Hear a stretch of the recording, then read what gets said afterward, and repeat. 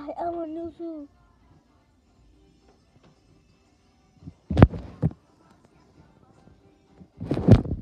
I'm on YouTube.